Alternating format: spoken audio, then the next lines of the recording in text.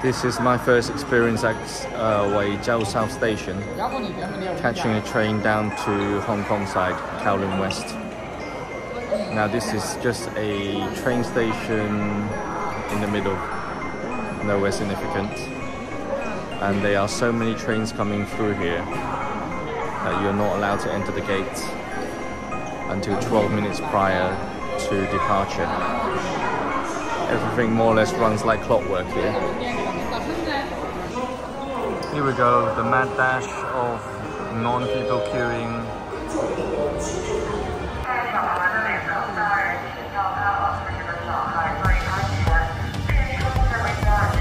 These are the high-speed railways in China.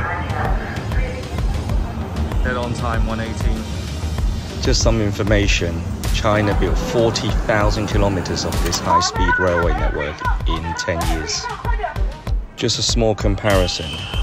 The UK has taken more than nine years and still haven't finished the HS2 one line London to Birmingham, costing at the moment 80 billion pounds. Right, you're wondering why everyone is still masked up here. Just out of courtesy.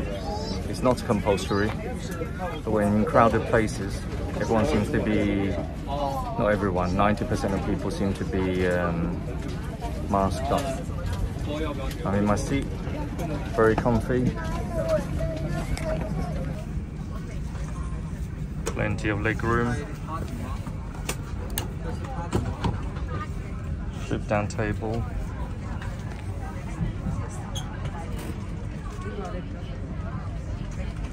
And uh, this is the first time for me on a bullet train.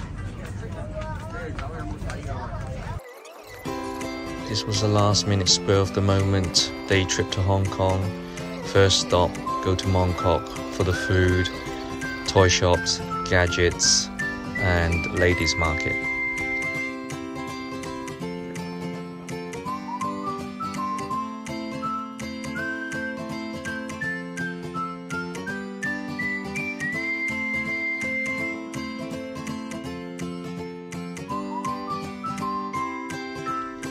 Then, of course, you can't go to Hong Kong without taking the Star Ferry across the Victoria Harbour. It's one of the most iconic things in Hong Kong and it's a nice, cheap uh, little day out.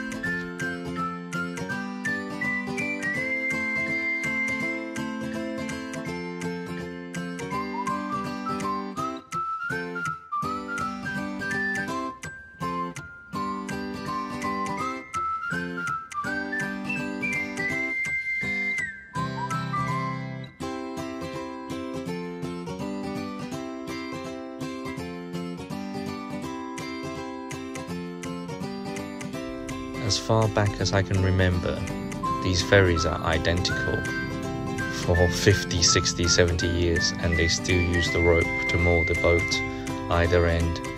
And all these years, it still fascinates me to stick my head out and watch them do it.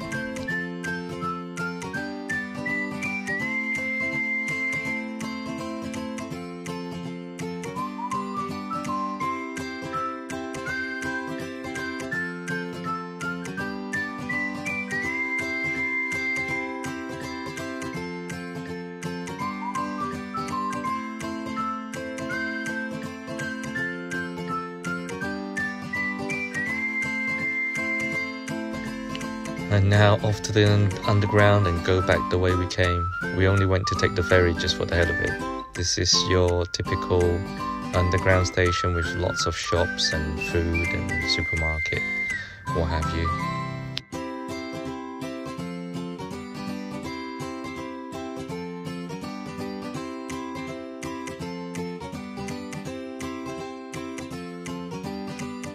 And now we're in Shamshui Market, which is another favorite place of mine. It's just full of uh, gadgets, secondhand goods, electricals, and further down we're going to head into the um, Golden Computer Arcade, which is two shopping centers dedicated to PCs, PlayStations, Xbox. If you're into all that, this is actual heaven.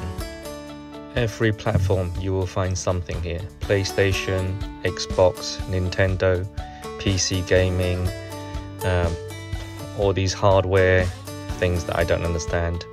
ROMs, RAMs, cables, fans.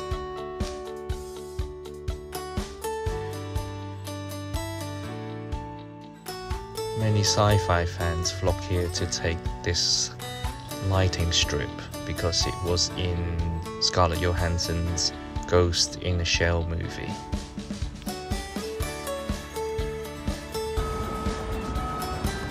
And now we're in Temple Street Market, very famous for the market and the street food around here. Still fairly popular, although many stores have closed down and never reopened after COVID. It's very noticeable that the economy hasn't fully recovered in Hong Kong since COVID, with the empty shops and the stores at Temple Street Market. I mean, in the old days, you couldn't even squeeze through Temple Street Market, there were so many people. But now it seems like uh, it's a very sad sight to see because this definitely is part of Hong Kong ladies market, temple market,